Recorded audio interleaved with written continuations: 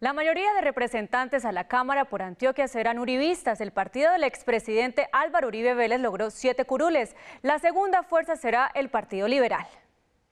Los representantes a la Cámara por Antioquia los puso en su mayoría al Centro Democrático. Oscar Darío Pérez fue quien más votos alcanzó, 84.065. Del mismo partido ingresaron Esteban Quintero, Juan Fernando Espinal, John Jairo Berrío, César Eugenio Martínez, John Jairo Bermúdez y Margarita Restrepo. La segunda colectividad con más representación antioqueña en la Cámara fue el Liberal, que logró tres curules. Julián Peinado alcanzó 53.649 votos, seguido de Juan Diego Echavarría, exalcalde de La Estrella, mientras que John Jairo Roldán repite con 46.931 votos.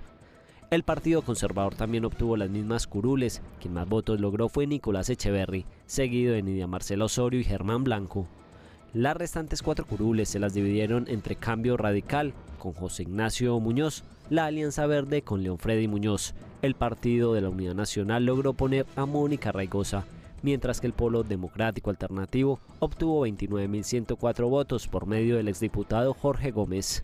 Por partidos, el Centro Democrático sumó 556.496 votos, el Liberal 270.672, los conservadores alcanzaron 259.234 votos, Cambio Radical 134.057, la Alianza Verde 129.699, 113.896 la Unidad Nacional y el Polo Democrático 77.666 votos.